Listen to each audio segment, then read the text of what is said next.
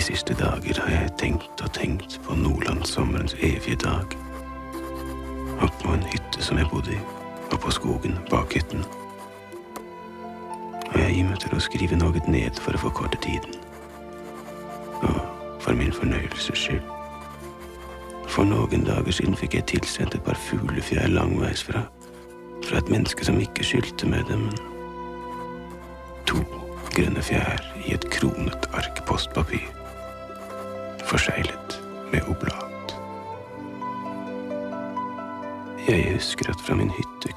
Virvar av øer og holmer og skjær, og noen blånende fjelltinder. Det var forbi med en sommer innen jeg visste av det. Det var for fire år siden. Det hendte meg noe. Eller jeg drømte det.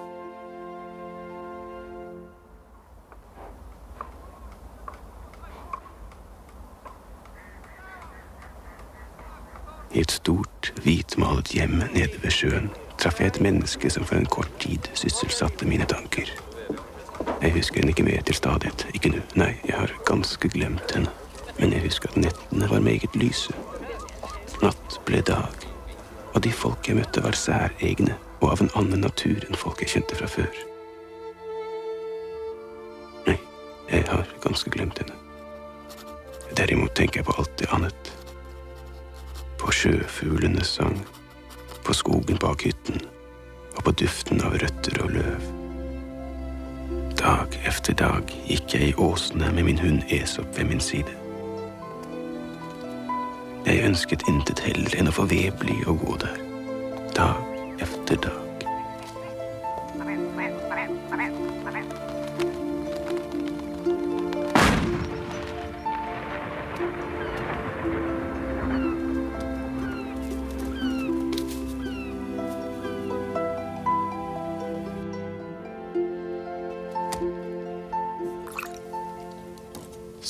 Godt vi har det nå, Esop. Nå steker vi en fugl her på gruven. Hva mener du om det? Hm?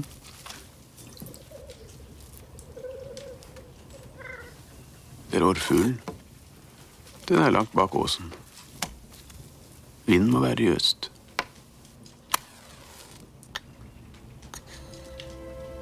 Jeg ble sittende en stund, forundret over at jeg befant meg her, i en hytte i Nordland, i kanten av en skog.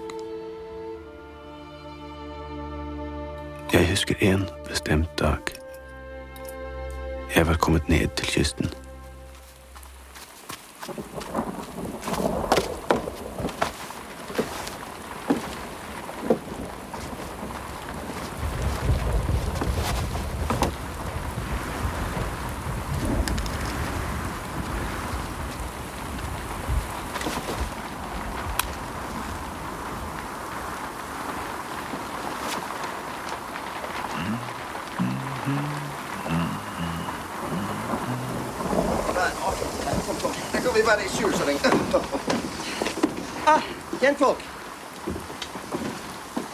Til møllen, og så måtte vi vende om. Maken til vær, hva? Løytnant Glan. Vår sunnværlige doktor. Min datter Edvarda. Løytnanten bor for tiden eh, i jakthytten. Altså, Du hedder Æsop. Doktor, hvem var Æsop? Det eneste, jeg husker, er, at han forfattede fabler. Var han ikke fyger? Nej, jeg ved ikke. Fryger. Hvad sagde jeg? De sa fyger. Det heter fryger. Det er vel korrekt, at han forfattet fabler. Så når uh, kommer de og besøker oss på Sinelund her, løytnant? Snart. Meget snart, Enok. Hva er det de mest skyter? De får gjerne låne en av mine båter hvis de vil. Bare si til. Så, nå kommer vi visst eh, Farvel igjen, herr løytnant.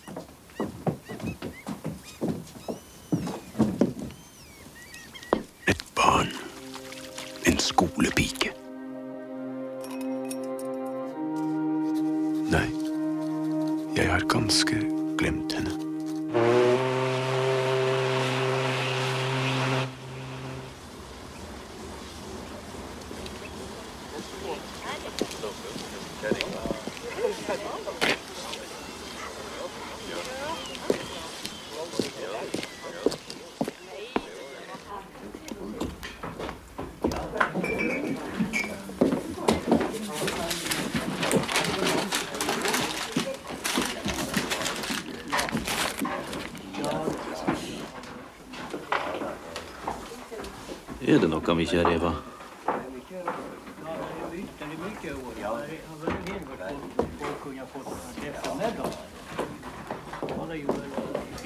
Min far har bestilt parafin med postbåden. Vil du sende det over straks til land. Brød og en pose krutt. Vi venter stadig deres visitt på Sierlund, herr løytnant. De kunne jo også besøke min hytte. De skal følge den for sent.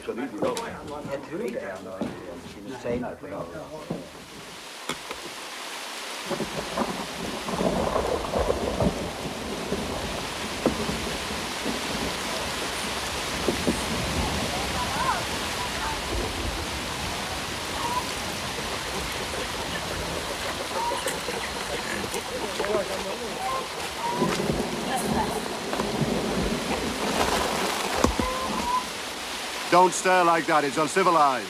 He's nice, your friend. I wouldn't call him a friend. In fact, he's a good for nothing. A nobody.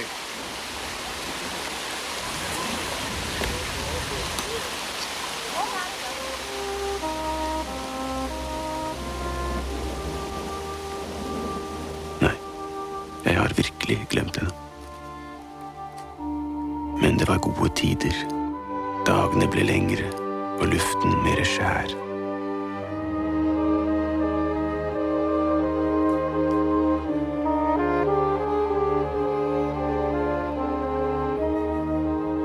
Fri som en hersker gikk jeg der og drev i en fredelig skog.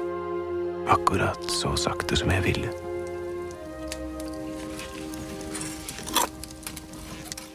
Jo, han er hjemme.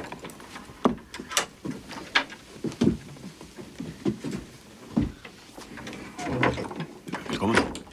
Vi var her i går også, men der var de ude. Velkommen. Vær så god, sitt.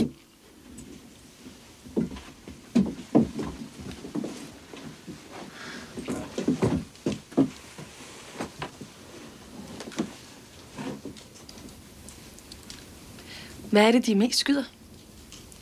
Harer, orrer, ryper. Av og til en sjøfugl.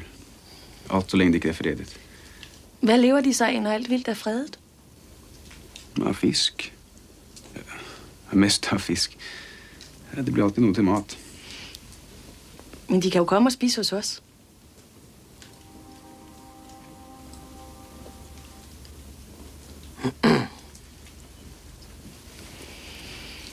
Jeg kan by på en rype.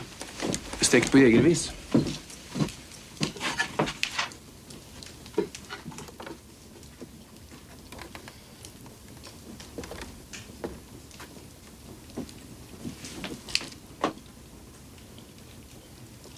I fjor var det en englænder, som boede her. Nu ligner det mere et lod end ti. Netop et lod end ti.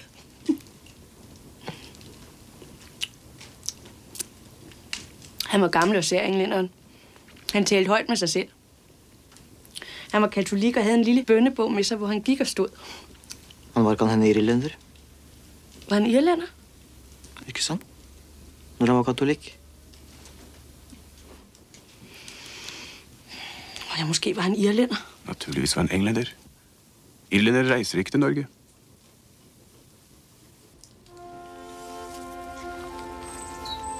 Tak for i dag.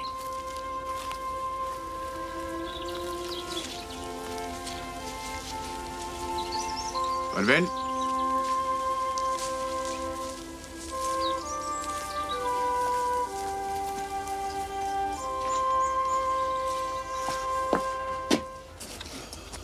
Bestilt meget i dag. Det var naturligvis en feil å la Jan Edvard bli sittende her hele tiden i stedet for å tilby plass på slagbenken.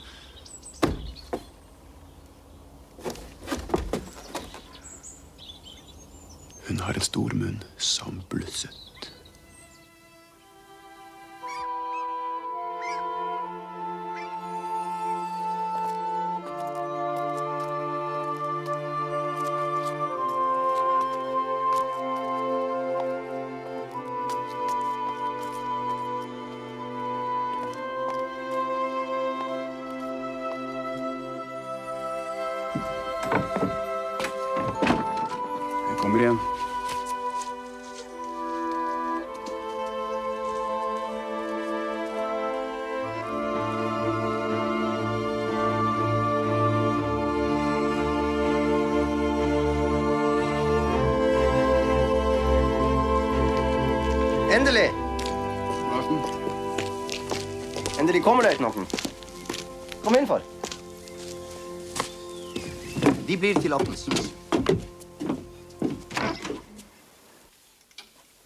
Første er oppe nord. De er nettopp kommet. For å forebygge all ulykke tenner jeg dem selv hver kveld.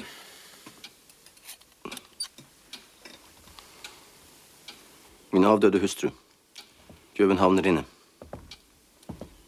En galopperende tuberkulose.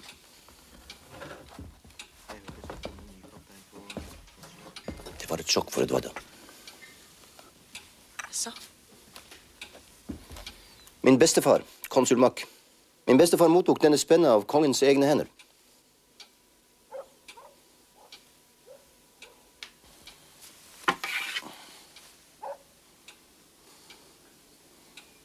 Ja. Ja, kom nå, Pettersen. Det er sent.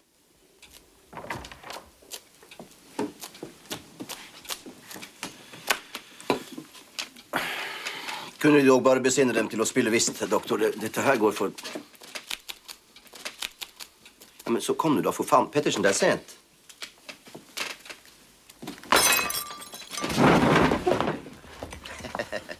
De får et nytt glass og en uh, ny grogg. Pytt med det, løytnant. Pytt med det. Jeg veltet mitt glass. Ja, det ser vi nok. Det er sengetid, mine herrer. Kom. En lang dag venter i morgen. Kom, kom, kom. kom.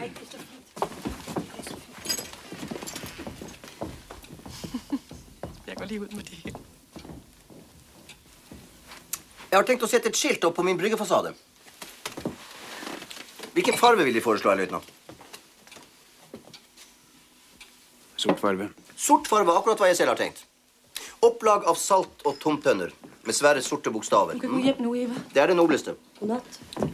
Må jeg si takk for i aften? God natt, doktor. Jeg følger doktoren nå. Jeg er hjemme hos Jens Krogh. Løytnant, de skal da avslutte deres grogg.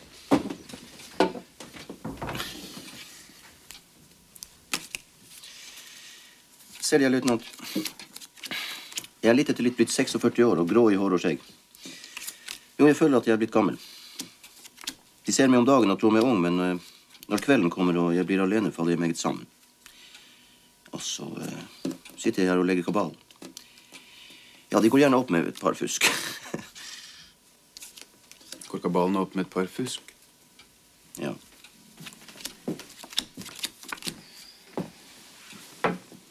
Edvard, da skal ikke du legge deg nå?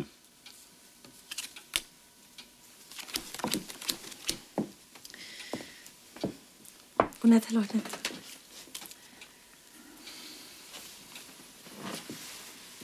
Er Eva gått hjem? Ja, far. Eva er gået hjem.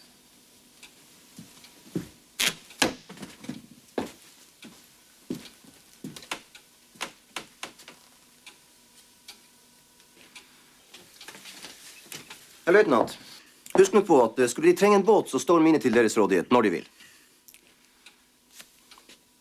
Forresten, la meg følge dem på vei.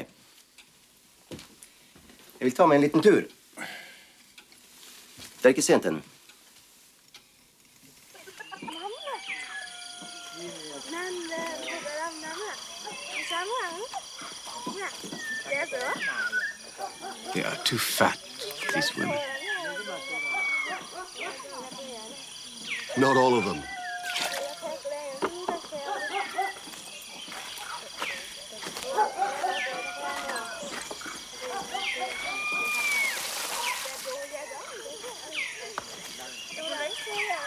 Called Malou.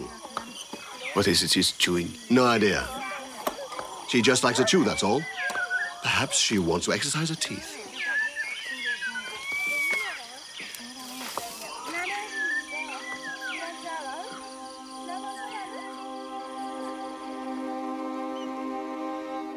Jeg hadde en samtale med Edvarda. Hvorfor, hvorfor, hvorfor er de egentlig her?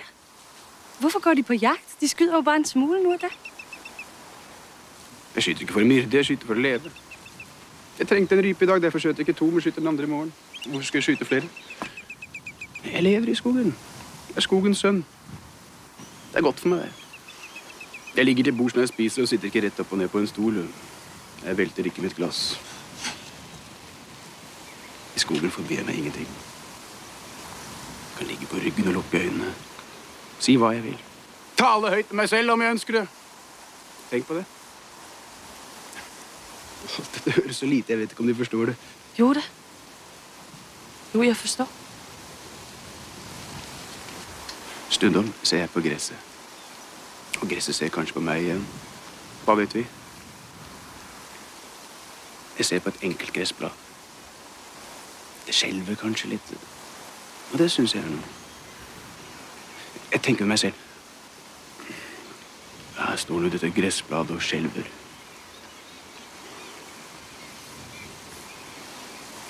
Stundom treffer jeg også mennesker på heimen. Det hender. Så.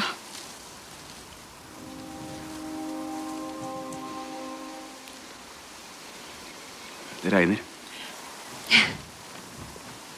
Tenk, det regner.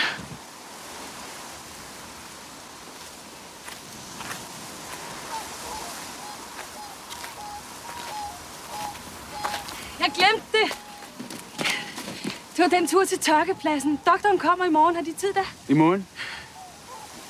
Jo, jo, jeg har tid. Jeg glemte det.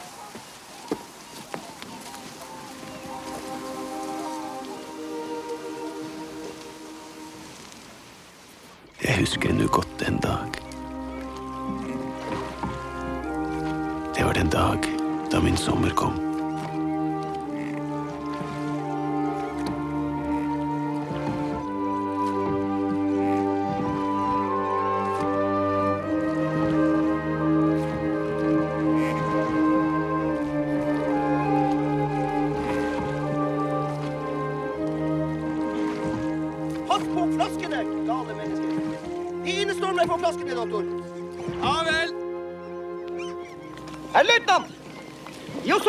Løytnant.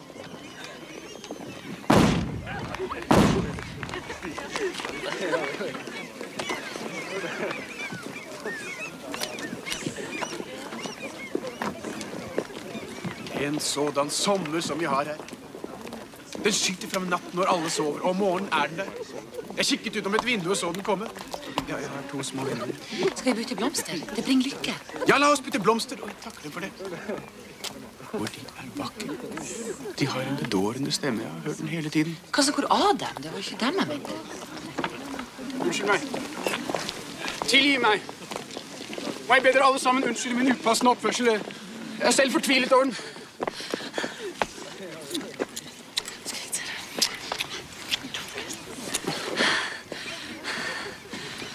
Hva er det, jomfru bare?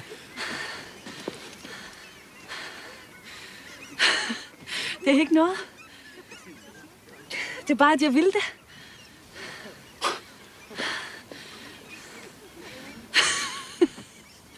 Det gør ikke noe. Gjør det ikke noe? Kom, skal vi leke enke. Det kommer av makk.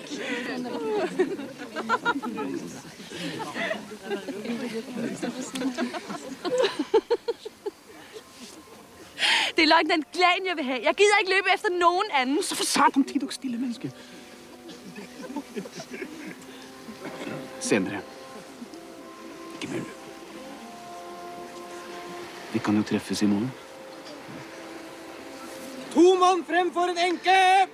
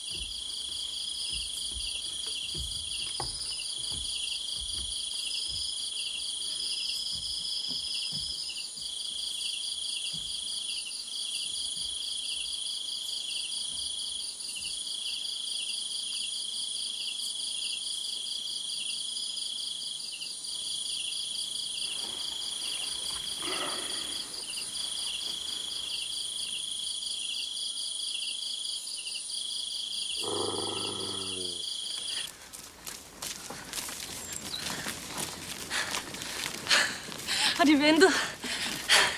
Jeg var bange for, at de skulle vente.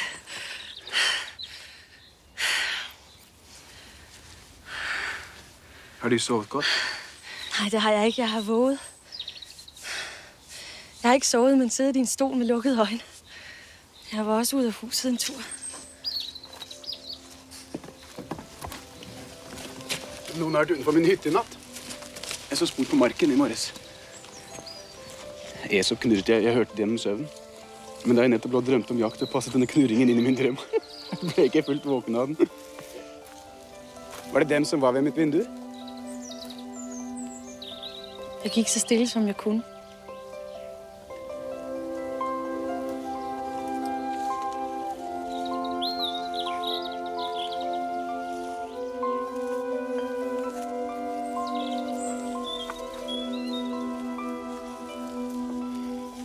Var mig. Jeg var dem her endnu en gang.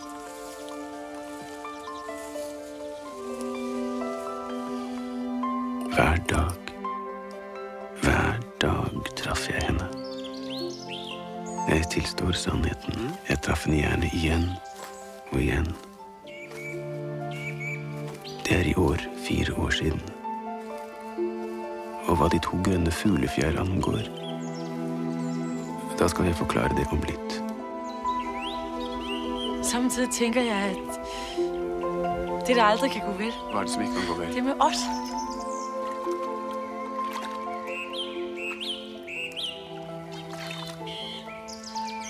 Det isner meg ned av ryggen, bare jeg kommer inn til deg. Det er lykke. Det isner oss inni meg bare jeg ser på deg. Jo, det skal nok gå vel. Forresten skal jeg klappe deg litt på ryggen for å varme deg. Nei. Hm? Nei. Hjelper det ikke? Nei, ikke vær så snill og dummer meg i ryggen. Ikke vær så snill. Jeg kommer til å huske noe. En gang på en kantur var det en ung dame som tok et hvitt silketørkle av sin egen hånd og bandt det om inn. Om kvelden sa jeg til damen ja, de skal få det tørket tilbake i morgen. Jeg vil la det vaske. Nei, svarer hun. La meg få det nå. Jeg vil bevare det som det er, ganske som de har brukt det. Og hun fikk tørkleet. Tre år etter traff jeg den unge dame igjen. Tørkle, sa jeg. Og hun brakte tørkleet. Det lå i sitt papir like uvasket. Jeg så det selv. Ja, hvordan gikk det så? Nei, det, det var ikke med. Men jeg syns det var et skjønt trekk. Hvor er den dame nu? I utlandet. Nej, ikke gå og tænk mere på den dame, vel? Jeg tænker ikke på nogen anden end dig. Godnat.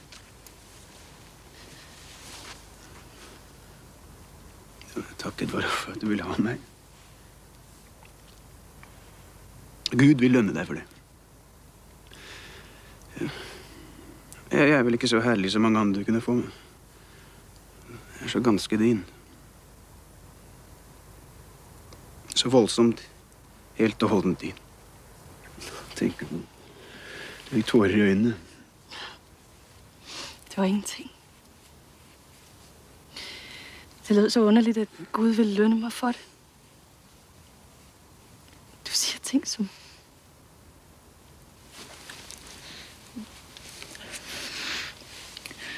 Jeg elsker dig.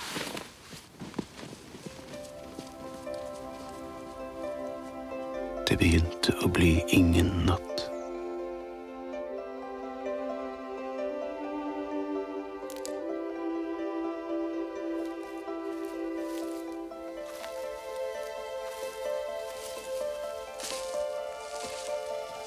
God aften, Edvarda.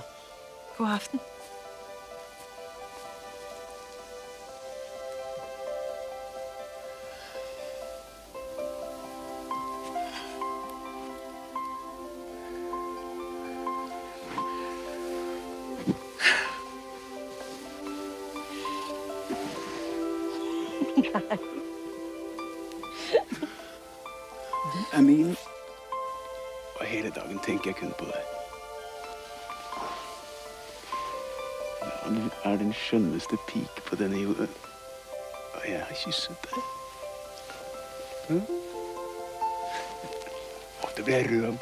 Husker på at jeg kysset deg. Hvorfor er du så glad i meg, nu? Skulle ikke jeg være glad i deg? Jeg går og takker hvert tre for at du er til. At du var din helse. Takk! Takk! Takk!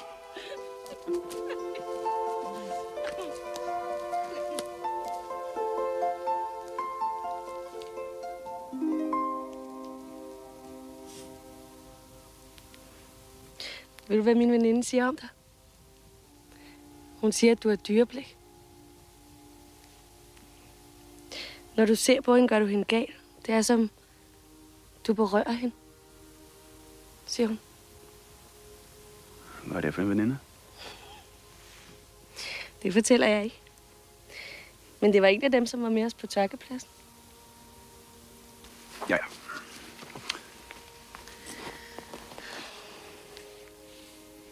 Min far rejser til Rusland en af de første dage. Der vil jeg holde en fest. Min far har allerede givet mig vin. Har du været på Korholmen? nej. Nej. Vi skal have vin i to kurver. Damerne fra præstegården kommer med igen. Så må du ikke se på min veninde, som du gjorde. Nej, ved du hvad? Så bliver jeg hende ikke med.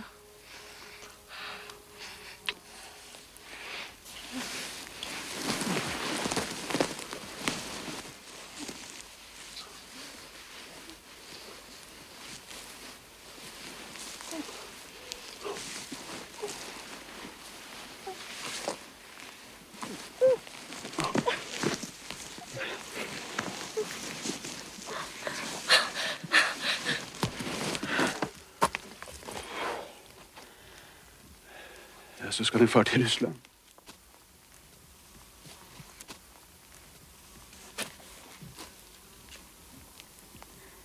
Det er sent, Edvard.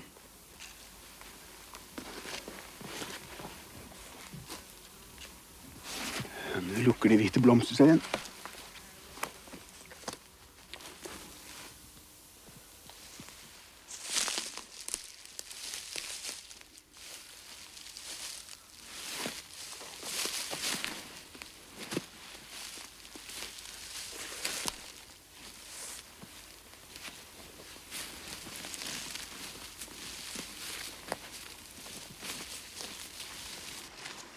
Natta.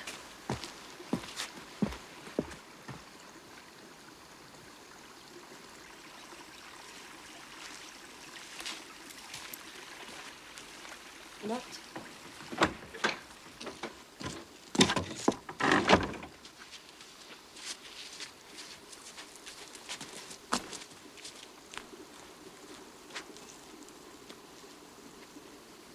En gang uteble Edvarda i to netter.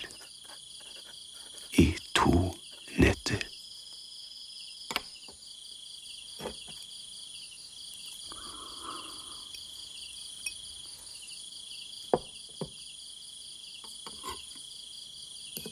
Der var ingenting i veien, men jeg syntes da at min lykke hadde stått på sitt høyeste.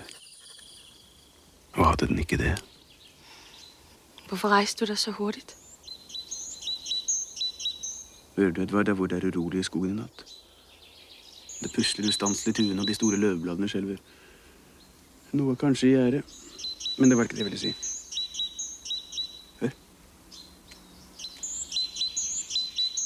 Det er bare en meise, men den har sittet på samme sted i to netter og lokket. Hører du en ensartet Ensartet lyd. Jeg er den. Takk. Takk fordi du kom i kveld. Jeg elsker det. Jeg satt der og ventet deg i kveld, eller i morgen kveld. Jeg gledet meg bare til du kom. Jeg har også ventet. Jeg tenker på deg. Og jeg har samlet og gemt skoven av det glas, du veltet en gang. Kan du huske det? Min far rejste i nat. Jeg var undskyldt for at komme. Jeg havde så meget at pakke minde ham på. Jeg vidste, at du gik her og ventede, og jeg græd og pakkede. Men der var gått to netter. Hva gjorde hun den første natt? Og hvorfor var det ikke så megen glede i hennes øyne som før? Godnat. I morgen? Nej, ikke i morgen. I morgen skal vi jo have fest. Jeg vil bare overraske dig, men du fik en så ulykkelig mine, at jeg måtte sige det. Edvarda, Mm. hvor lenge er det siden du samlet i glasskårene og gjemte dem? Hvor lenge det er siden? Ja, Kan det være en uke siden? To uker siden? Ja, måske det er to uger siden. Hvorfor spør du om det? Jeg skal si deg sandheden. Jeg gjorde det i går.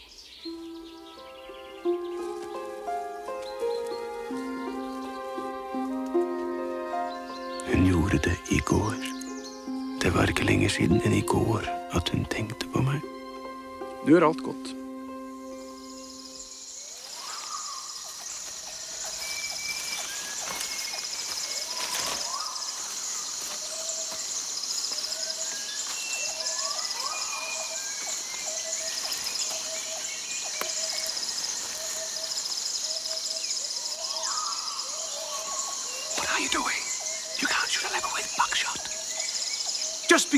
Cannot does not mean it is impossible.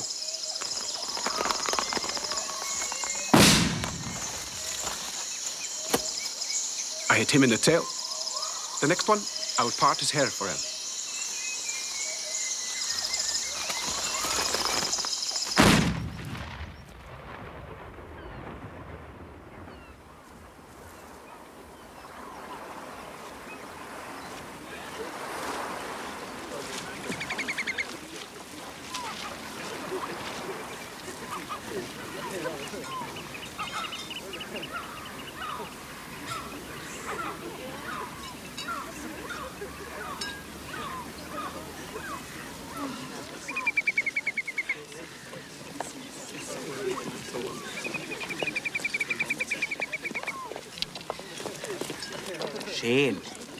Hva er sjel for noe?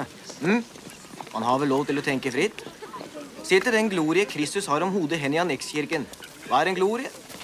Et gult tønnebånd som står på tre hår. ja, ikke sant? Det lyder fryktelig. Det erkjenner jeg. Takk, Eva. Du kan vente nede ved båten. Men hvis man gjentar og gjentar det syv eller åtte ganger for seg selv, og tenker litt på det, så lyder det allerede bedre.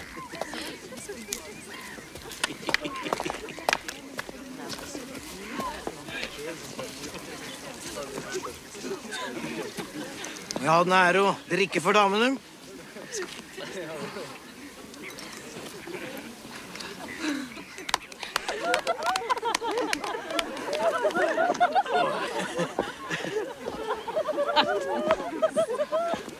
Skal vi leke enke der? Husk på, at vi ikke sier du til hinanden. Har ikke sagt du. Tænk, hvilken lykke å få rejst bort til andre steder. Ingen ville være mer lykkelig enn jeg den. Mer lykkeligere. Det forstår jeg ikke. De sa mer lykkeligere. Ikke annet. Gør det? Unnskyld. Ingen ville være mer lykkelig enn jeg den dag, jeg stod ombord på skibet. Samtidig længes jeg til steder, som jeg ikke selv ved. Si meg, tror du ikke, frøken, at menneskene i disse egne ligner den korte sommer?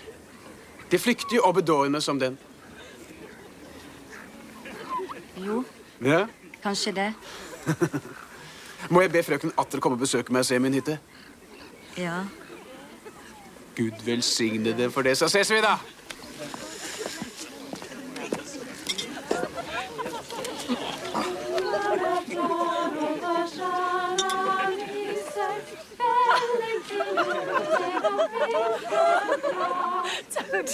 La oss ta det en gang til.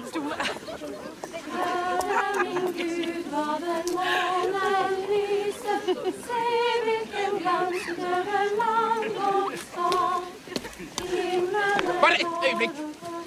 Det falt meg inn mens jeg satt der borte at dere kunne ville se min fluebukk. Unnskyld at jeg ikke har husket det før. Vil dere ikke være så vennlige å gjennomse den? Dere gjør meg en glede. Dere må se alt sammen. Dere dere er både røde og gule fluer. Ja, takk. La oss få se de tingester.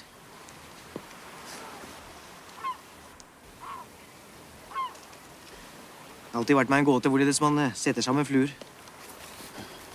Jeg, jeg gjør dem selv. Det er jo så simpelt. Jeg kjøper fjærene og agnet. Det, det blir ikke godt gjort med dere også bare til eget bruk. Der er ferdige fluer å få. De er meget vakre. Det er også materialer. Hm. Se. Noen vakre fjær.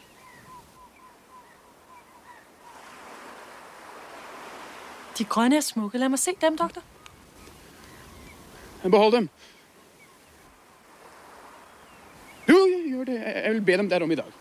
Det er, det er to grønne fuglefjær. Gjør vel imot meg. La det være en erindring.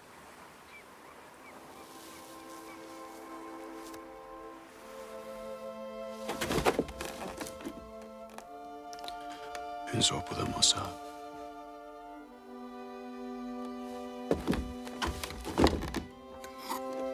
De er grønne og gylne, eftersom man holder dem i solen. eftersom man holder dem i solen. Ja, tak, når de vil give mig dem. Ja, takk. Når de vil gi meg dem, så Ja, jeg vil gi dem dem, sa jeg. Hun stakk fjærene til seg. Litt efter rakte doktoren meg boken tilbake og sa takk. Takk. Han reiste seg og spurte om vi ikke snart skulle begynne å tenke på hjemturen. Kanskje vi skal begynne å tenke på hjemturen? Jo, for guds skyld, la oss komme av sted. Jeg har en hund liggende der hjemme. Se, jeg har nå en hund. Den er min venn. Den ligger der og tenker på meg. Når jeg kommer, står den med forporten i vinduet og hilser på meg. Dagen har vært så deilig. Den er snart til ende. Jeg takker dere alle sammen. Takk for fjerne.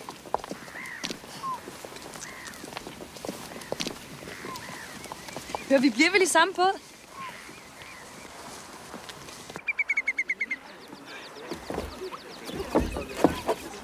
Det var min idé. Er jeg? Nej. Jeg drikker som en fugl.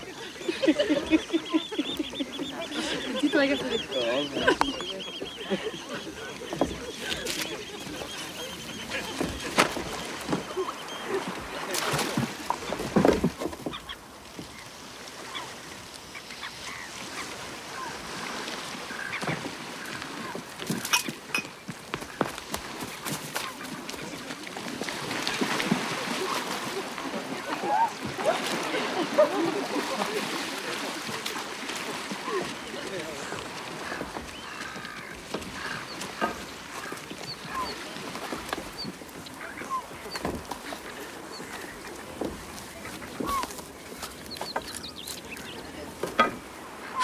Jeg sett magen.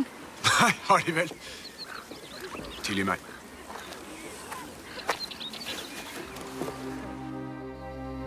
Hvor meget verre kunne det gå? Var det meg som fra først av hadde trengt meg inn på henne? Nei, nei, aldri. Jeg sto bare på hennes vei en ukedag da hun gikk forbi. For en sommer det var her nord. Menneskene ble meg mer og mer uforklarlige, skjønt solen belyste dem natt og dag. Hva så deres blå øyne efter, og hva tenkte de bak sine selsomme banner? Forresten er de med alle sammen likegyldige.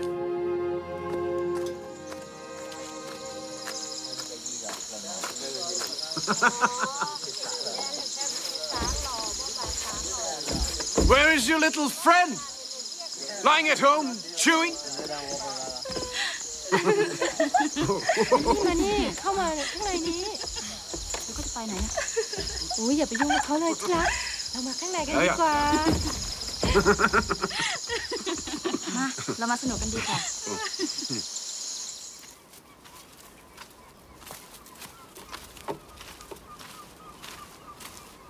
Hvor skal du hen? I Vestskogen. Du burde alltid bruke det hvite tørkleet. Det kler deg. Jeg har ikke sett dem i fire dager, Edvard. Fire dager. Det stemmer. Hvordan finner de det? Forunderlig. Men hør nå, Edvarda. Har de ganske glemt meg? Jeg forstår meg ikke på dem. Vi ser de ikke alt det jeg har gjort. Kunne jeg så komme til dem? Nei, så kunne de heller ikke komme til meg. Men jeg ville sagt med ett ord. Der er inntrådt en forandring. Noe er kommet i veien. Ja. Men jeg kan ikke lese av deres ansikt hva det er. Deres panne er selsom, vet du hva det er. Jeg ser det nå. Men jeg har ikke glemt dem. Nei, nei, så har de kanskje heller ikke glemt meg. Men så vet de ikke hva jeg sier. Ett av to. I morgen vil de få en innflytelse. De må danse med meg. Og vi skal danse. Vil de følge meg et stykke på vei? Nå? Nei, det kan jeg ikke. Om litt kommer doktoren. Han skal hjelpe meg med noe. Der er ennå litt å gjøre. Så de finner at stuen kan gå an således. Men tror de ikke, at vi måske... Kommer doktoren kjørende i dag? Jeg sendte hest efter ham. Jeg vil... Spare han sykefot, ja? Nei, la meg se å komme av sted. God dag, doktor. Gleder meg å se dem igjen. Alltid sunn og frisk. Håper de unnskylder at jeg forsvinner.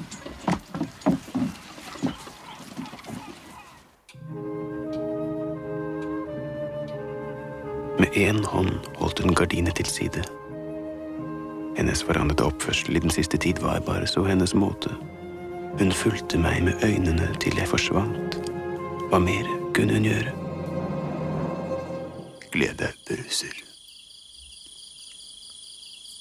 Det er tørst og drikker i bekken.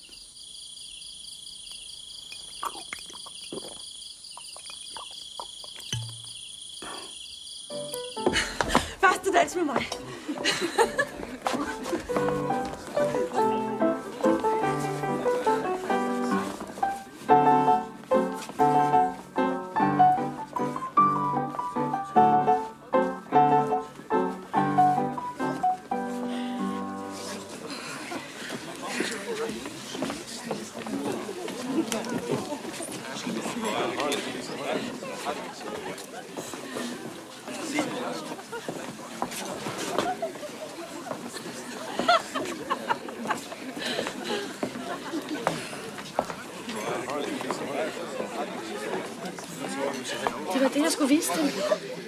Hvordan sorte kjolen Jeg viste dem inde i... øh, Ja, det var jo det, vi brugte skoletiden på.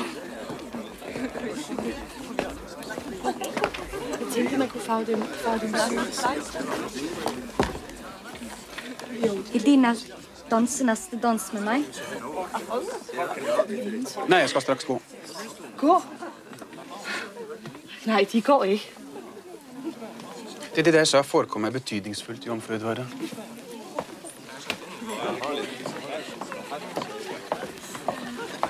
Gå? Ja. Han misforstår meg ikke. Jeg mente å si at de forhåpentlig ble den sidste, som ville gå. Den aller sidste. Dessuten er klokken bare et. Hør, de har givet vår Roskarl en femdaler, fordi han reddet min sko fra å drukne.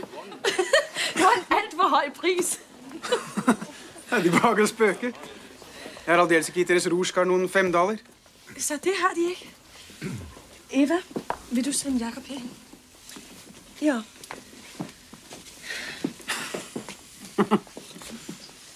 Skål. Du husker vår tur til Korholmerne, Jakob. Du redde min sko, som var faldet i vandet. Ja. Du har fået fem daler, fordi du reddet skoen. Ja, de ga meg. Godt, du kan gå. Jeg må gjøre vitterlig for alle her at dette enten er en feiltagelse eller en løgn. Det har ikke falt meg inn engang å gi deres rorskar noen femdaler for deres sko. Jeg burde kanskje ha gjort det, men inntil nå er det ikke skjedd. Hvorfor har vi fortsetter dansen? Hvorfor danser vi ikke?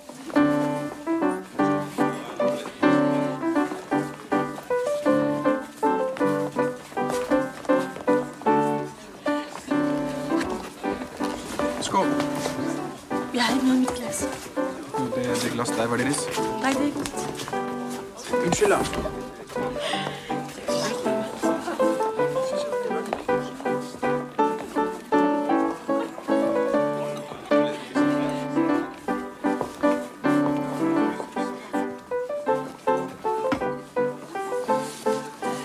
Jeg har aldrig lært at spille klaver. Kunne jeg bare det? Hvorfor er de en gang blitt så bedrøvet, Edvarda? Hvis de visste hvordan jeg lider ved det. Jeg vet ikke hvorfor. For alle ting måske. Disse mennesker vil gå igjen straks, alle som en. Nei, ikke de.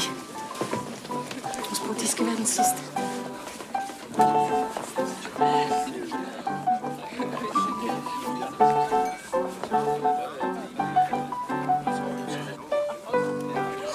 Valsen med søster spiller, herr løytnant? Nei.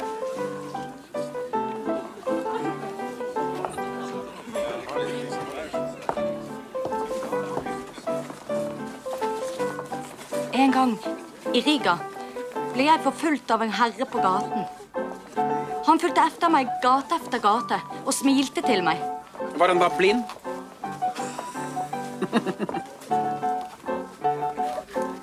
Ja, det måtte han vel være. Eftersom han kunne forfølge et så gammelt og stygt menneske som meg.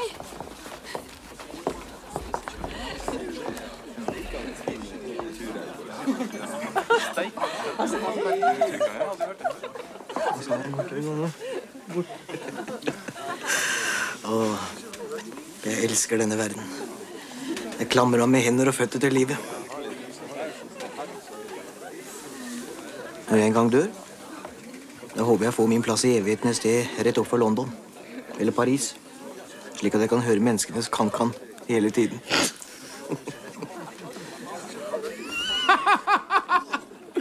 Storartet! Så, hør dere hva doktoren sier! Død og pinsel.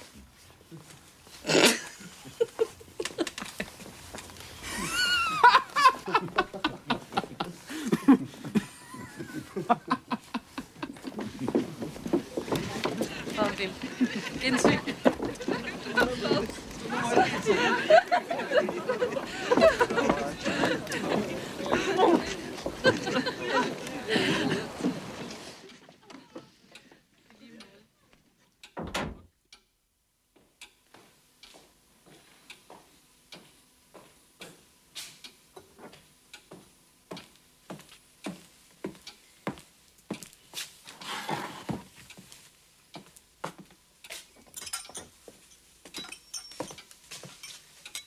Ja, så de er der. Det var venligt af dem at vente til sidst. Nu er jeg dødstræt.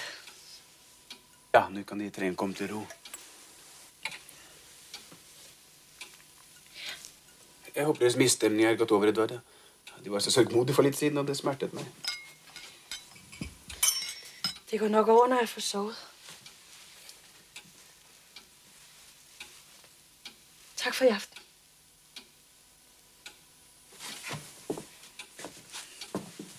Behøves ikke. Gjør dem ingen uleilighet.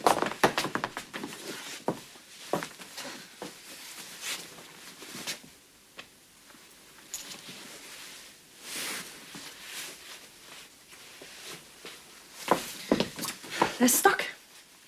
Glem ikke, det stokk.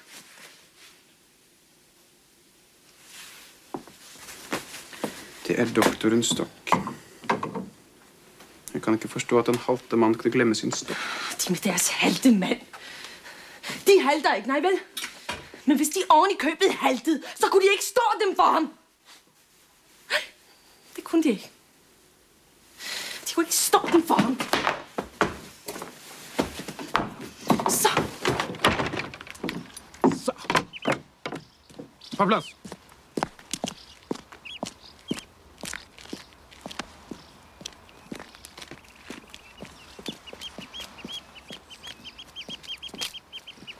Jeg hilste ikke. Hilser ikke? Nei. Ja, Det må også likegyldig hva de gjorde. Jeg skulle hente min stokk, som jeg glemte. Hopp over. Kom igjen! Kom igjen, kom igjen! Hvorfor gjør de egentlig alt dette? Hm? Noe er galt med dem. Hvis de vil fortelle meg hva det er, så kanskje jeg kan hjelpe dem til å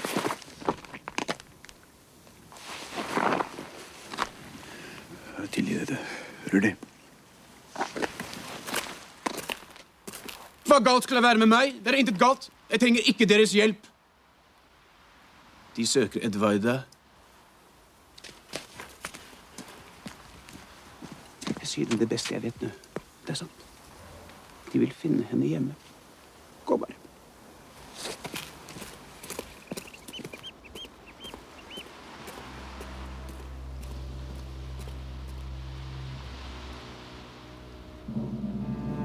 Underlige tanker liv i mitt hode.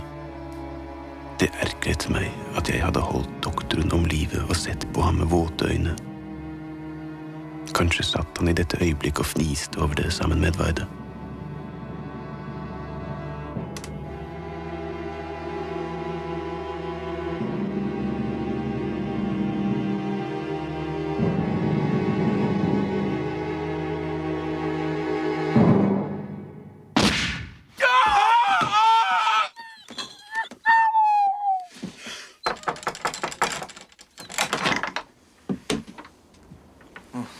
Unnskyld hvis jeg forstyrrer dem. Jeg tenkte jeg kunne ikke skade om vi talte litt sammen.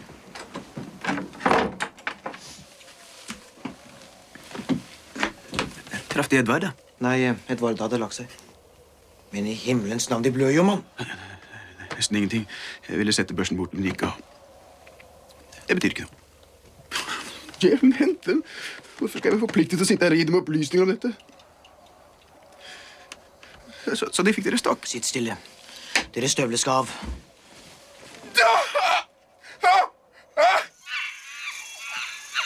Hvor jeg senere angret på dette vanvittige skudd. Det tjente ikke noen ting. Det bandt meg bare til hytten i flere uker.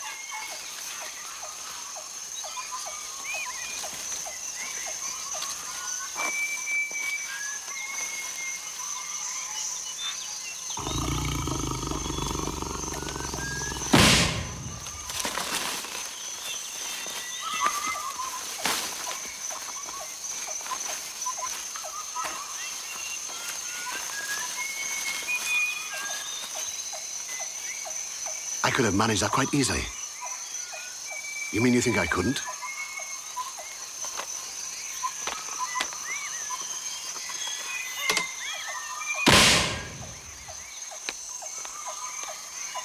Well, I cannot have people saying I could only hit him in the side. Can I?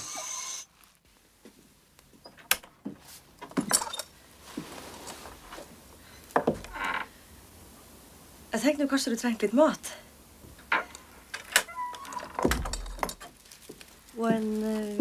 Litt vin. Vær litt, Eva. Du må ikke tro. Hva må jeg ikke tro, Eva? Nei, det var nå kun det at jeg mente at nå, mens du Mens du ikke går på jakt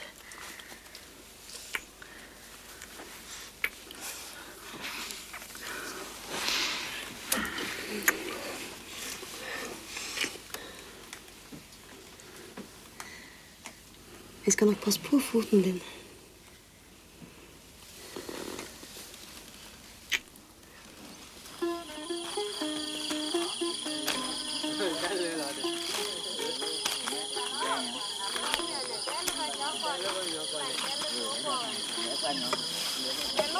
We shot her just before sunset. Yeah. Who shot her? There you see. Two bullet holes. We both shot her just before sunset. That is where my bullet went. You both shot her. Why do you keep staring at him? I'm here as well, aren't I? Yes. And listen, I am coming to see you tonight.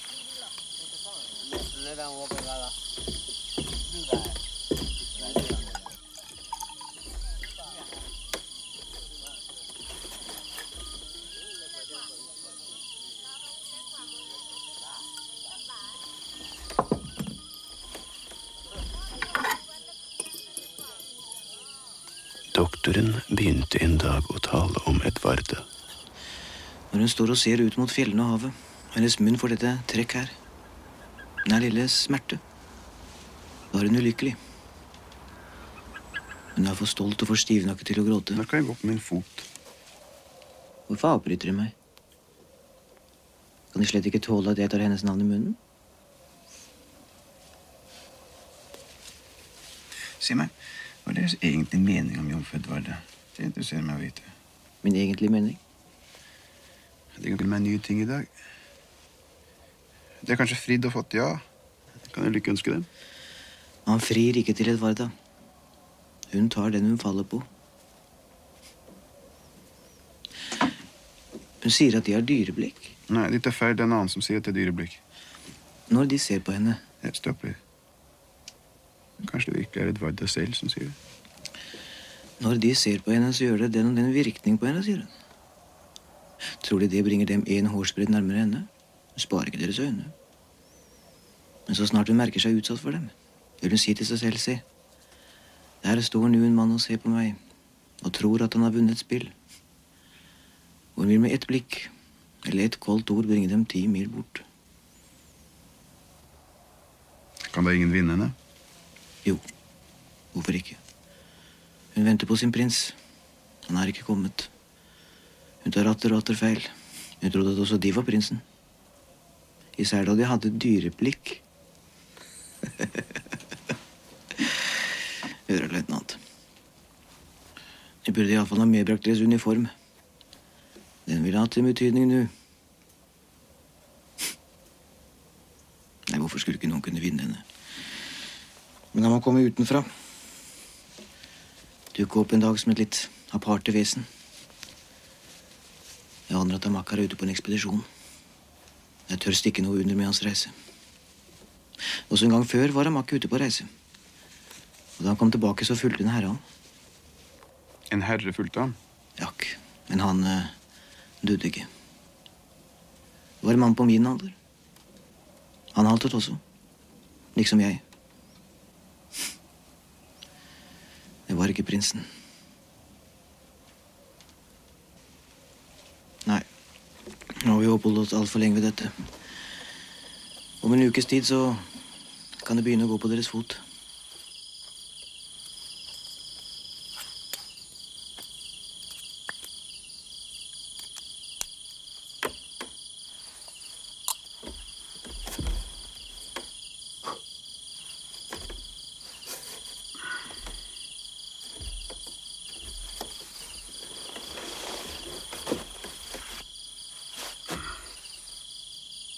Klein. Klein. Nej, men dårlig. De har skudt dem. Gud, Gud, hvordan gikk det til? Jeg fikk det først at vide nu. Jeg tænkte hele tiden, hvor blir Klein A? Han kommer aldri mer. Hvordan står det til nu? De er så blege. Og foden, blir de halvt? Doktoren sier de ikke blir halvt. Hvor inderlig glad jeg er i dem for, at de ikke blir halvt.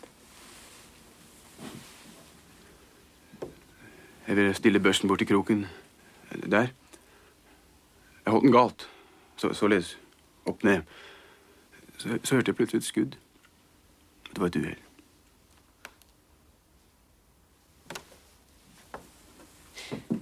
La meg se, det er venstre fot. Hvorfor netop den venstre? Ja, det var et tilfelle. Ja, et tilfelle. Hvor kan jeg vite hvorfor det ble venstrefot? Således holdt jeg børsen. Det kunne ikke gå opp i høyrefot. Ja, det var ikke meget morsomt.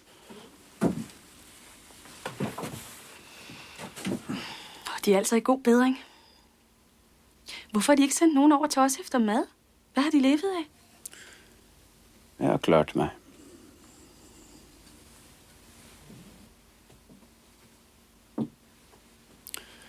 Da de kom, var deres ansikt beveget, og deres øyne skinte. Nå er deres øyne blitt likegyldige igjen. Tar jeg feil?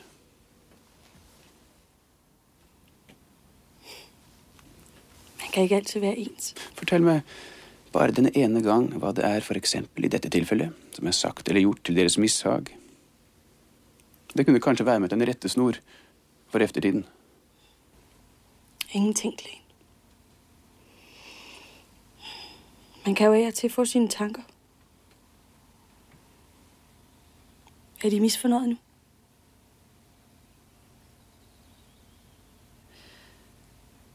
Husk på, nogen giver lidt. Og det er meget for dem. Og andre giver alt, og det koster ingen overvindelse. Hvem har så givet mest? Bliv nu snart frisk. Vi ses igen.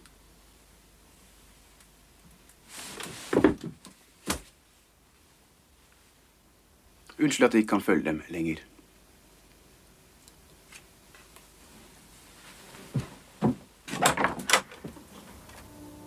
Da hun var gått, satte jeg meg enda en gang til å overtenke det hele. Jeg skrev et brev og forlangte min uniform tilsendt. Klan! Skynd dem litt! Man skal bruke båten! Ja. Jeg kan dessverre ikke låne dem min båt lenger. Vi har fått besøk av en eh, vitenskapsmann, og de vil forstå at en sånn mann Man skal ro ham til havs hver dag og bringe ham hjem igjen om kvelden.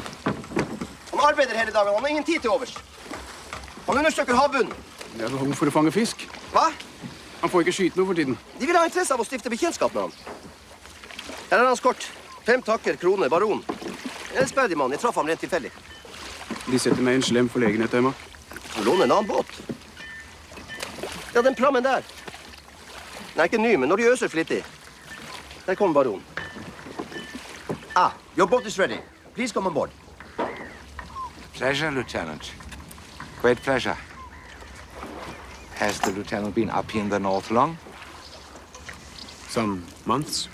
An absolutely fascinating seabed out there beyond Kalman. I heard about your accident, the unfortunate shot. Is the lieutenant fully recovered now? Really? Oh, I'm pleased. Who was it who told the, the band about my accident? Miss Muck, I believe. Isn't that so, Miss Muck? Allow me to wish the Baron every success with his investigation. Thank you, Mr. Mack. Kanskje de kan lånes med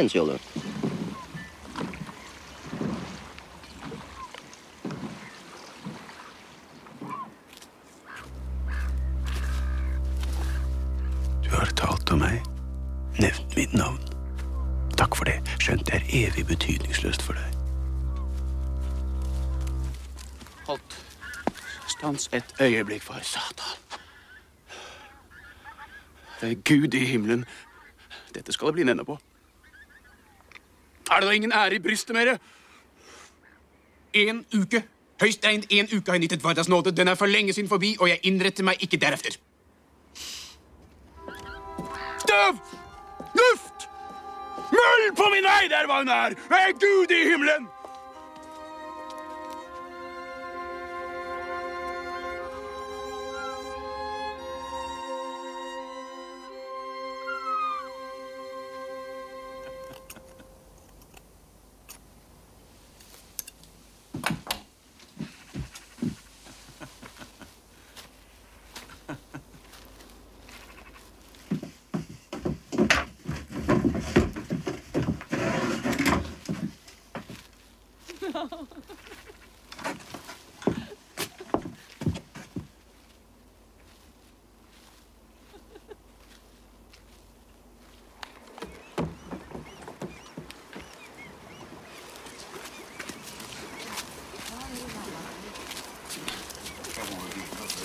Når kommer postskipet?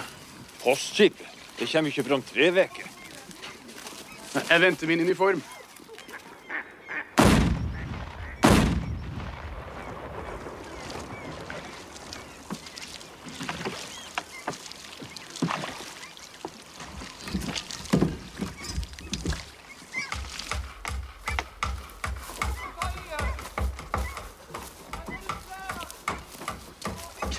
Takk for lånet av båten. Ingen årsak. Får jeg følge hjem? Nei. Herr Mack forlanger det her ferdig i kveld. Det blir nok til midnatt.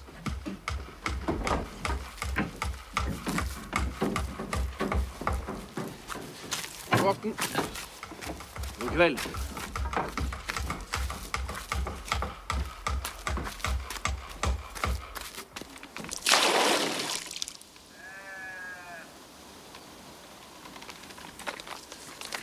Lengtet så utrolig etter deg.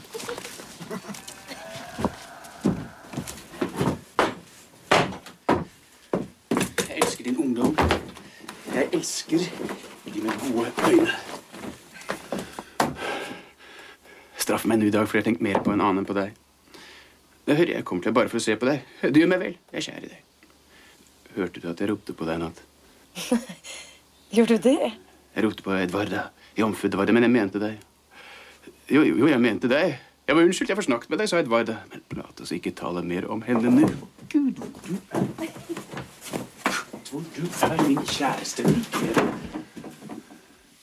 Du har så rød munn i dag. Men du har vakrere føtter enn Edvarda. Se bare selv.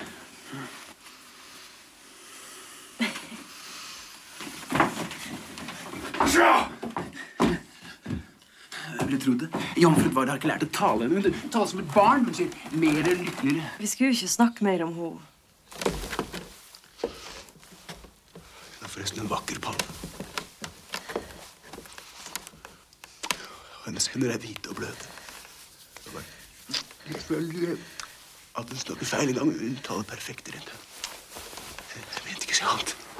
Vil du at vi helst skal sitte og være stille og ikke si noe? Du gode, gode sjel.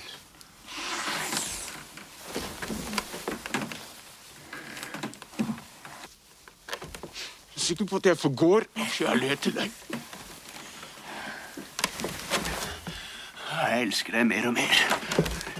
Til slutt blir du med meg når jeg reiser. Kunne du følge med meg?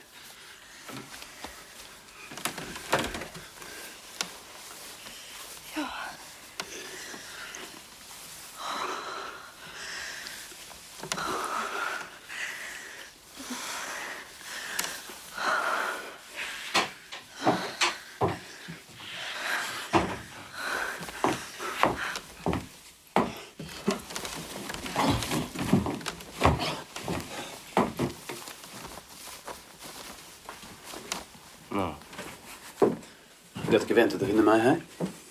Om, det er jo dem jeg søker.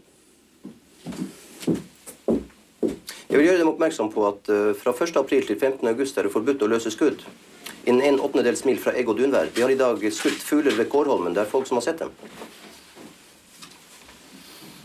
De har vært innenfor fredlyst område. Jeg erkjenner det. Jeg har ikke fått meg inn før nå. Jeg er også junimåned skutt av begge mine løp omtrent på samme sted. Det var på en øtur. Det skjedde på deres anmodning. Det er da en helt annen sak. Men så for djevelen så vet dere hva de har å gjøre. Så du vel.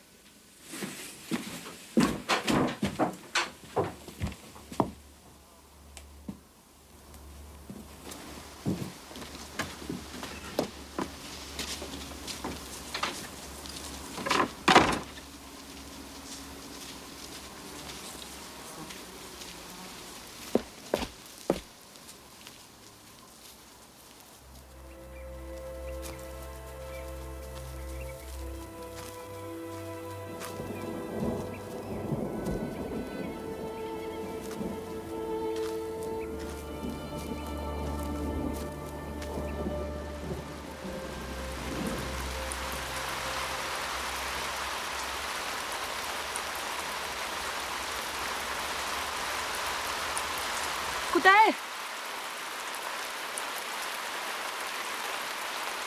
Jeg hilser dem, skjønn jomfru. Har de vært til fjells i dag? Så er de blevet våde. Vil de ta det om dem? Jeg har det til overs.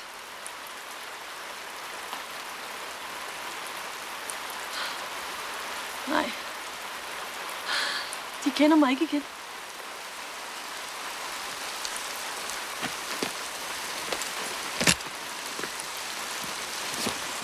Vil de låne den? Jeg har den til overs. Jeg vil låne den bort til hvem som helst. De kan trygt ta den. En fiskekone skulle med glede ha fått låne den. Gud skyld, ta den på igjen. Det skal de ikke gjøre. Er de så sind på meg? Nei, herregud, ta trøyen på igjen før de blir gennemvåd.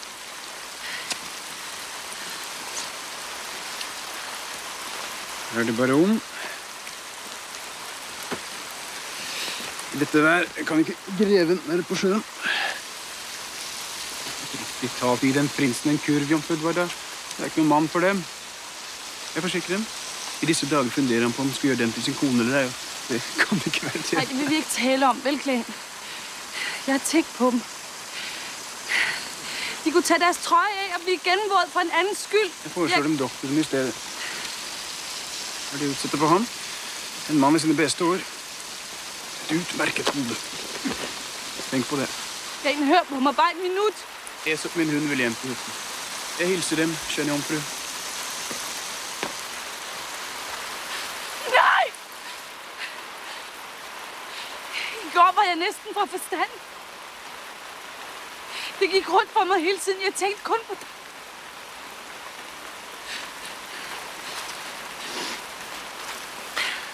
Så i dag sad jeg i stuen. Baronen kom inn. Han lagde en lille æske i mitt fang. Jeg åbnede æsken og fandt en nål i den. Nålen havde en krone med 10 sten. Lad, jeg har nålen her. Vil du se?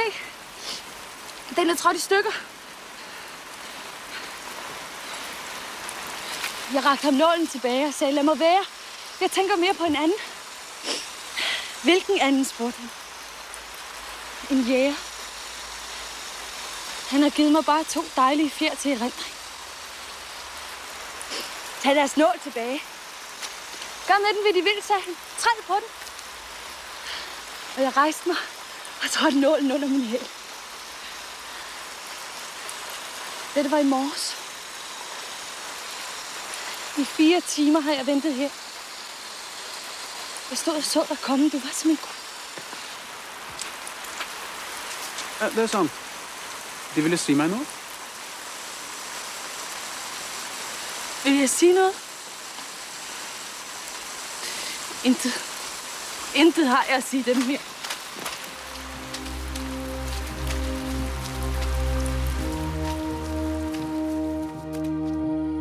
I nattens løp overveide alt og tok min beslutning.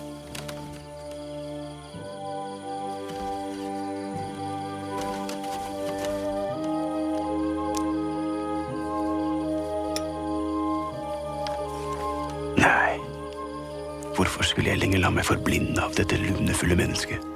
En fiskepike, et ulært hode. Hadde ikke hennes navn plaget meg lenge nok?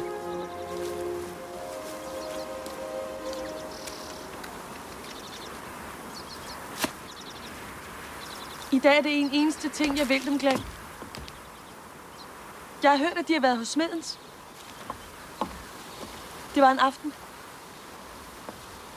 Eva var alene hjemme. Eva har også vært her. Har hun også vært her? I hytten? Flere ganger. Til min store glede. Også her? Da de er så elskverdige å blande dem opp i mine saker, ville jeg ikke stå tilbake. Jeg foreslo dem i går doktoren. Har de tenkt over det? Prinsen er nemlig for umulig. Han er ikke umulig, nei. Han er bedre enn de. Han kan være i et hus uden å slå kopper og glas i stykker. Min sko får være i fred for ham. Han forstår å omgås folk. Her skader det ikke noen at jeg er som jeg Man er. kan hvert øyeblikk vente seg det verste av dem. Ja, det blir i lengden 13 å passe på dem. De kan måske få Eva til å passe på dem. Det er bare skade, at hun er gift. Eva? Sier de Eva er gift?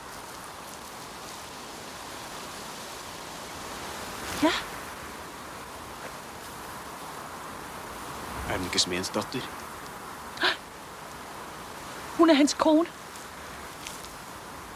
Jeg tror, de står her og lyver. Så det har jo gjort et heldigt valg. Men ta det inn i doktoren, som jeg sier! Lyd en venns råd. Den prins er bare en halvgammel, halvtosket narr. Halvblind er han vel også, stakkaren. Han mangler hovedlinjene! Du tror ikke, at jeg elsker ham. Men jeg vil gifte meg med ham. Jeg skal tenke på ham nat. At jeg sier jeg elsker ham. Lad så bare Eva komme. Gud i himlen, lad hende bare komme. Det var så udelig ligegyldigt. Og kom aldrig på mine øjne mere. Nei! For Gud i himmelen! Hva har jeg gjort? Forget that lunatic.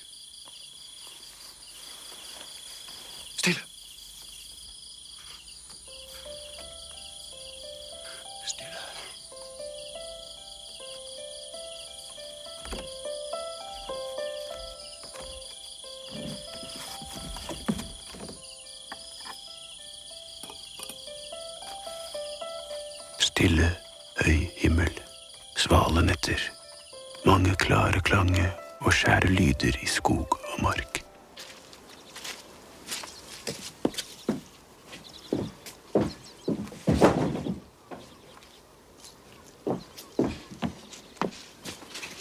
Legg børen ned.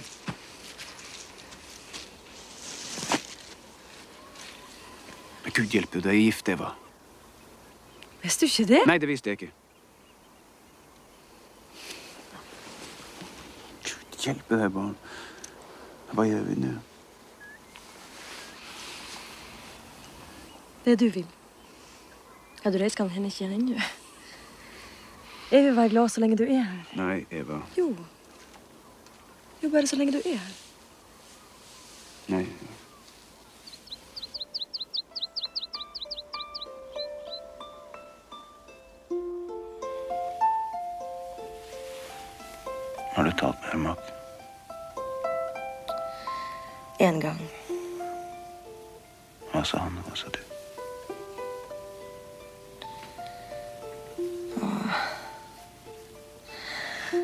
Meget hard imot oss. Han lar mannen min arbeide natt og dag. Og vi har en befalt å gjøre mannfolkarbeid. Hvorfor det?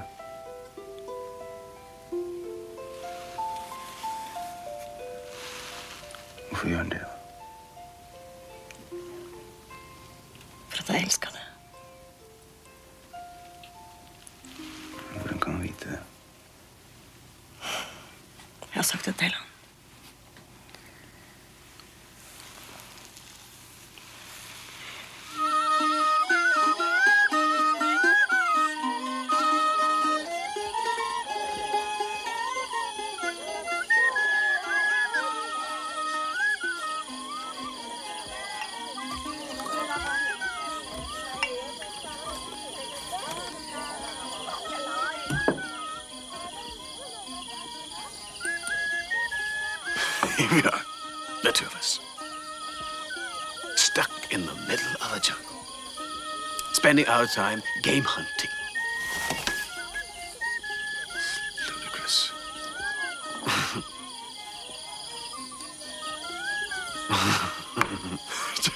Just imagine. A married woman propositioning a man. A married woman. A baroness,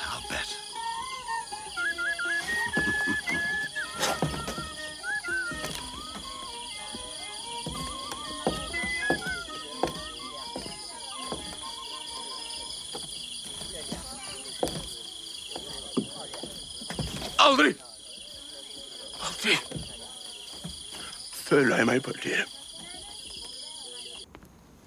En skål i mennesker og dyr og føler. For en ensomme natt i skoger. I skoger! En skoff av mørke. Og Guds mumlen mellom trærne.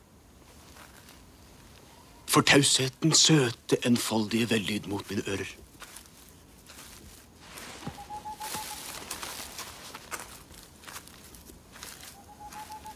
Vet du, Eva, hva det er å håpe?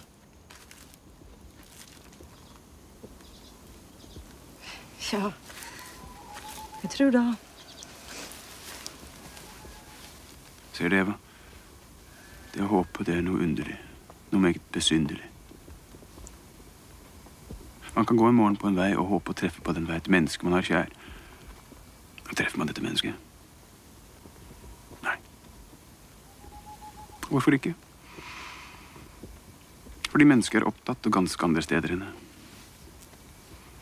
Eva, det er så merkverdig med håpet.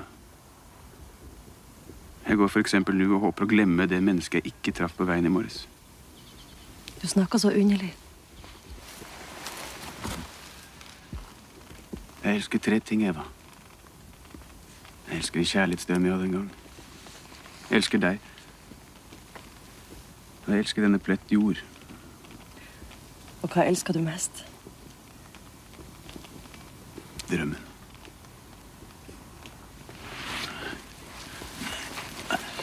Gå nå hjem. Det er deg jeg elsker mest. Hvordan kan jeg elske en drøm? Det var bare en spøk. Det er deg jeg elsker. Men gå nå. Jeg lover, i morgen er jeg en annen.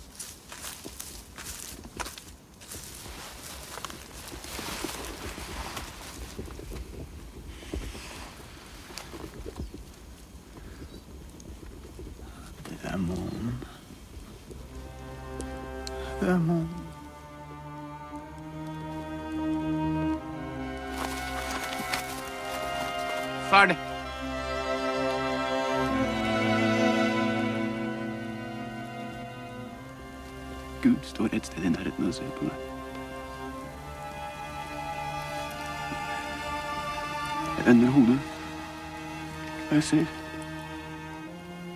som ryggen av en ånd som vandrer lydløst inn gjennom skogen.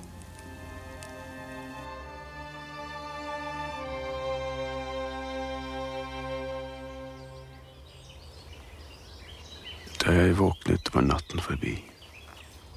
Jeg hadde i lang tid gått om i en sørgelig tilstand, full av feber, ventende på å falle om av en eller annen sykdom. Nå var det over. En dyp sørgmodighet behersket meg.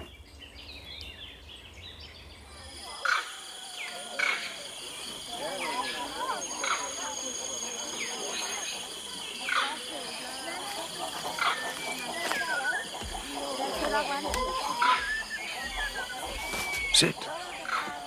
Why are you in such a hurry? Is your friend waiting for you? I do not know. Can we not let him wait? Of course. How old are you? 15. You're a nice girl. I like you.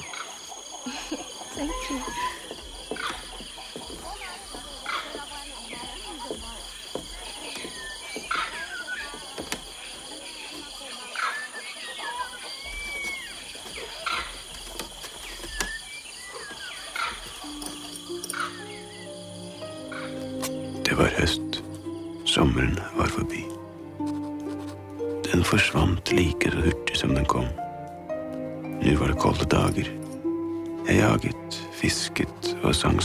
Skogen.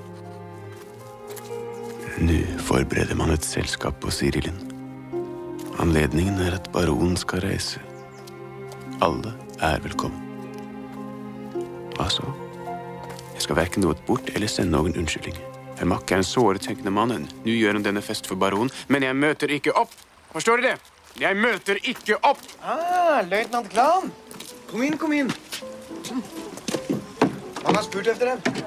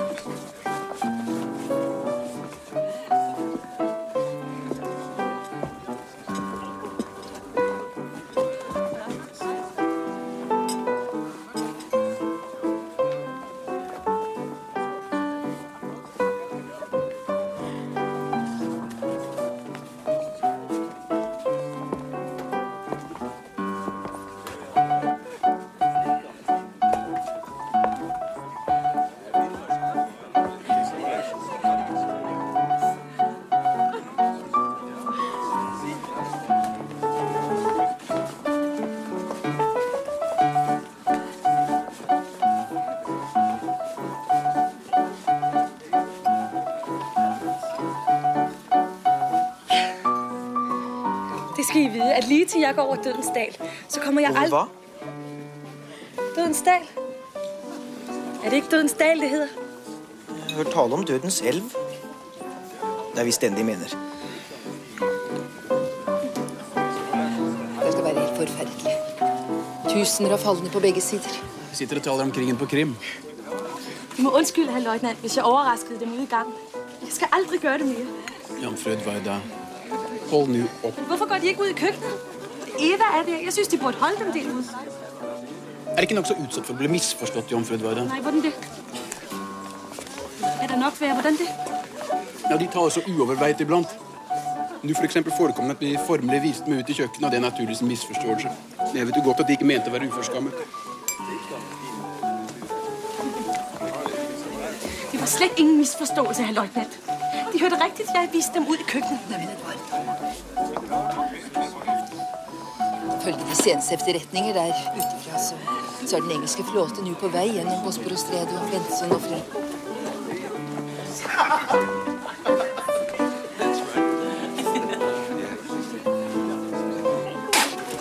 Was wollen Sie damit sagen?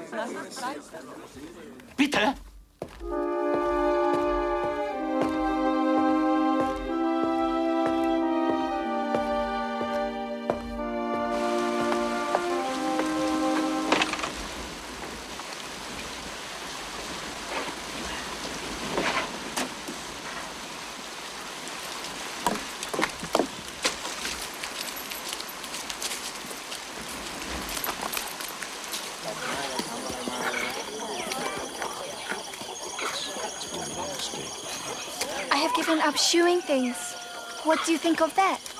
I used to chew feathers and coins and piece of paper, but not anymore.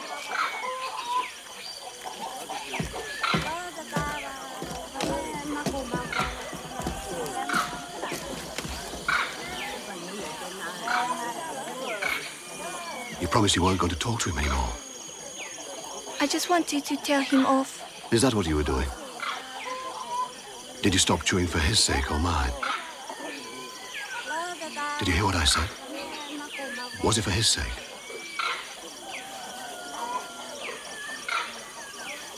Will I see you tonight? Of course.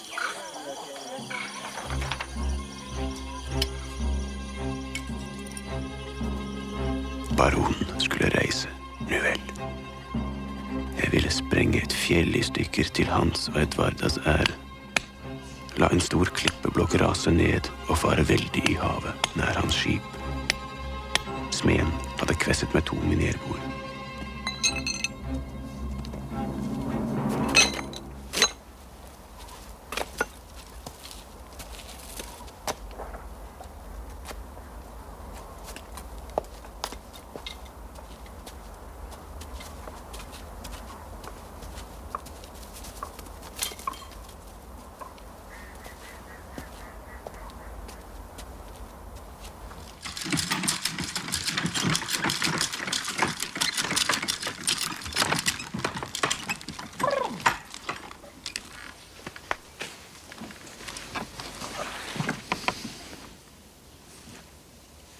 Du ser ut som er ingen sorger har, Eva, min elskede. Han må blir strengere og strengere for hver dag. Men det svarer han ikke. Han grep meg i armen og ble grå av raseri. Jeg har én sorg. Hva er det for en sorg? Han Mack truende. Han sier at det er løytnanten som står meg i hodet. Han skal nok få deg bort. La ham true. Eva? La meg se om dine føtter er like bitte små. Lukk øynene.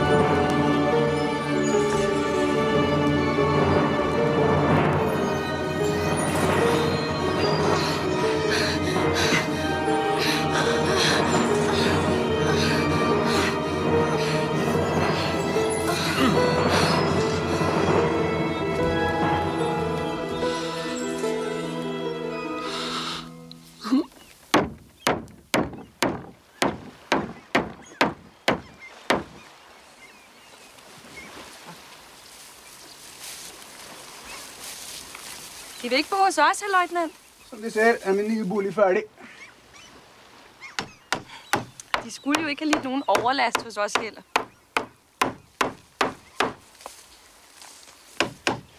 Jeg takker dem, jomfru Edvarda, fordi de tilbyr meg husly nå den hytta er brent. Det er så meget edlere som det neppe skjer med deres fars vilje. I Guds navn vil de aldri se meg merkelig. Edvarda. Baron roper.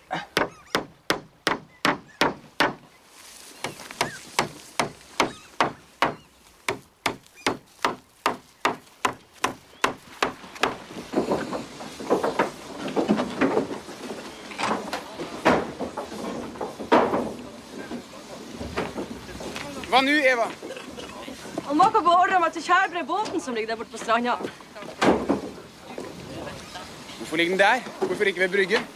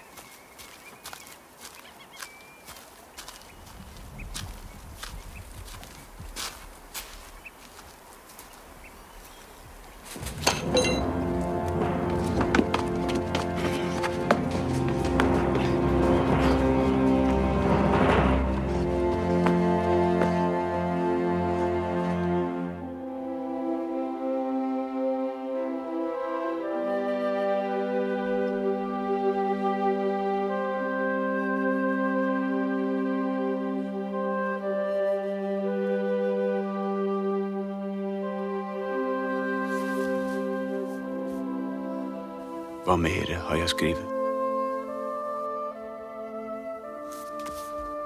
Eva førtes til kirken i Ermaks hvitmalte husbåt. Jeg gikk over land og møtte opp ved graven. En tykk, rosenrød erindring glir gjennom mitt indre når jeg tenker på deg, Eva. Jeg blir som overgitt av velsignelse når jeg husker ditt smil. Du gav. Alt ingen overvinnelse. Men andre, som sparte Karri dog på sitt blikk, kan ha hele min tanke. Hvorfor? Spør de tolv måneder og skivene på havet. Spør himmelens stjerner.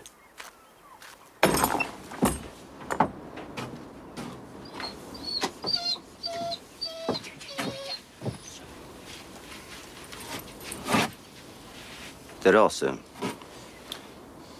Katastrofen, det var en ulykke. En sørgelig tilfeldighet. Løytnanten har ingen skyld i den. Hvis det var noen som for enhver pris ville skylde Eva meg, ja, da har han oppnådd det. Gud forbanna. Det var en vakker begravelse. Intet var spart. Intet. Båten, den som ble knust, eh, de skal ikke tenke på den. Jeg vil ikke ha noen erstatning. Ville virkelig ikke ta den betalt for båten? For tjærepøsen og kosten?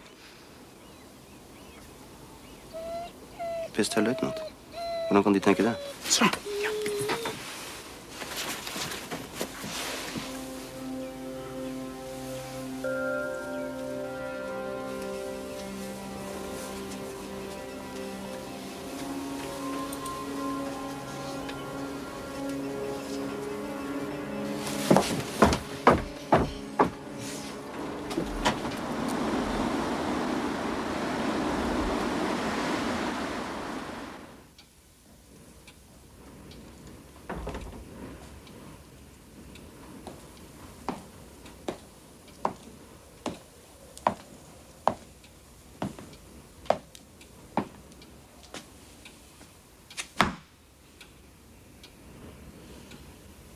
For å si farvel.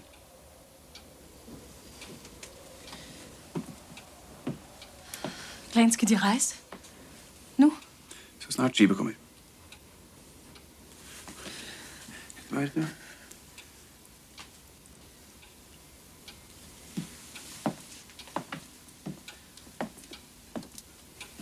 Edvarda.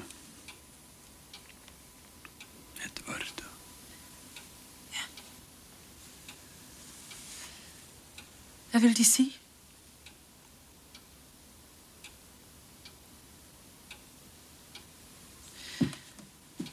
Tænk, skal de allerede rejse? Hvem skal nu komme til næste år? En annen. Hytten blir bygget opp igjen.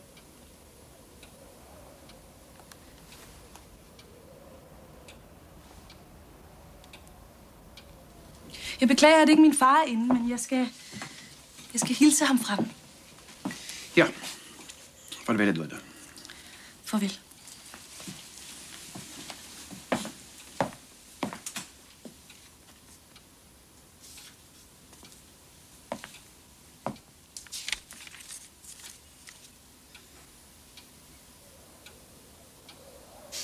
Gikk de ikke? Jeg synes, de gikk. Nå skal jeg gå. Jeg vil gerne have et minde om dem. Jeg tænkte at bede dem om noget, men det er vel for meget. Vil de give mig Esop? Ja.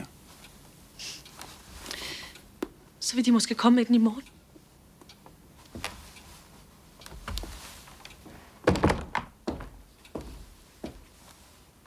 Esop, Esop, Esop.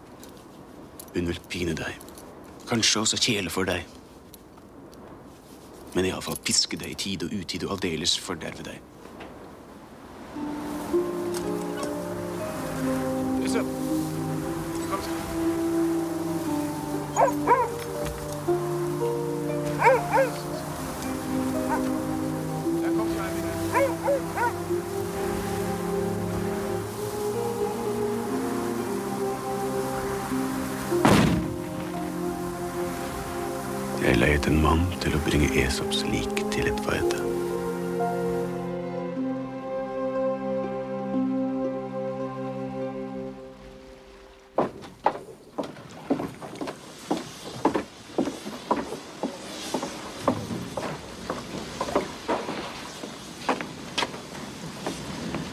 Se dem vel om bord. Jeg må takke Eder for Eders hund.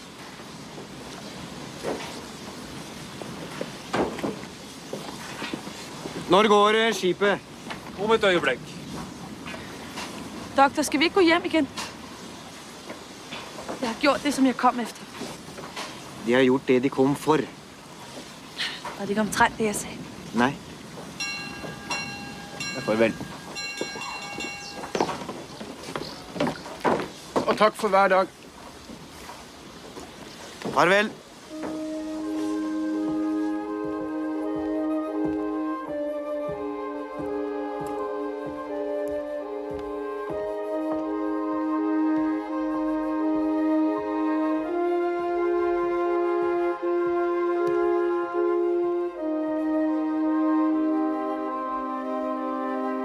Dette var det siste jeg så av henne. Ender min skrivning.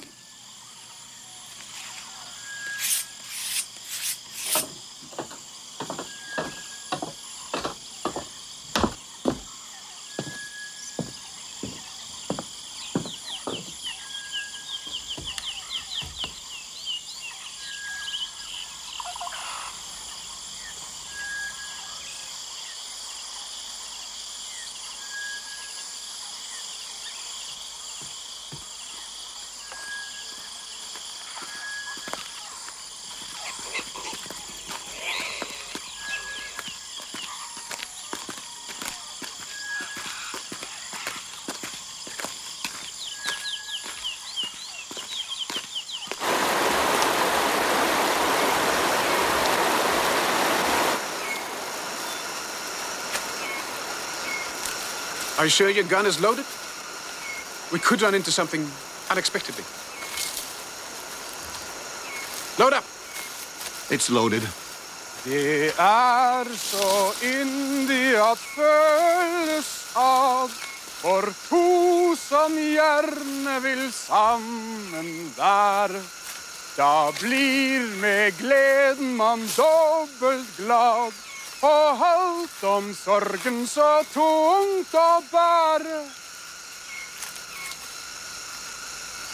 We are not going to shoot anything today anyway.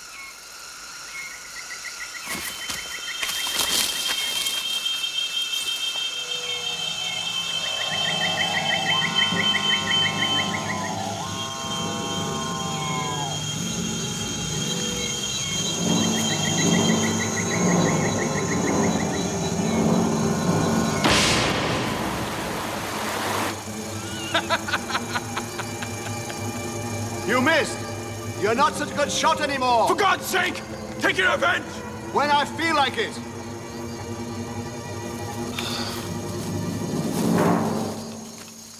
Coward!